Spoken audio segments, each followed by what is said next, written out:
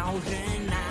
不想双十一后更现在，那就关机赶快。真的会穷到要啃咸菜吗？网络影片大开剁手党玩笑，就因为双十一节一年规模比一年大，今年商机上看四千亿台币。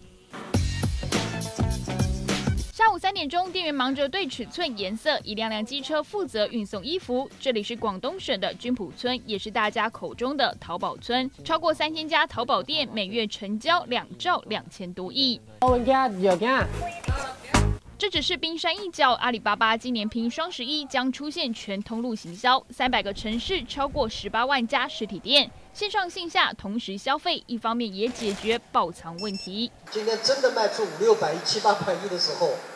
服务跟不上，快递配合不了，银行系统跟不上，客户的体验就会糟糕，双十一就会越做越差。要卡攻三点六亿大陆剁手党，台湾电商也平了。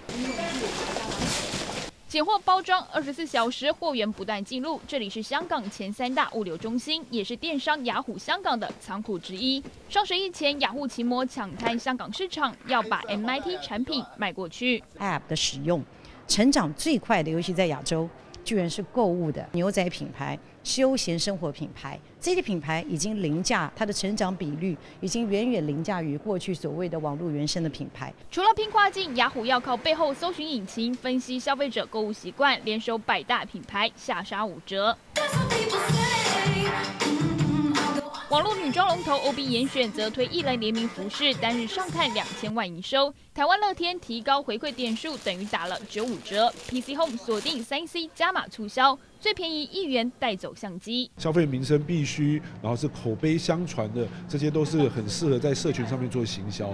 网购族趁着双十一节抢便宜，台湾百家商店加入战局，瞄准剁手党荷包，年底赚饱饱。东森财经新闻，肖海云家好，台北报道。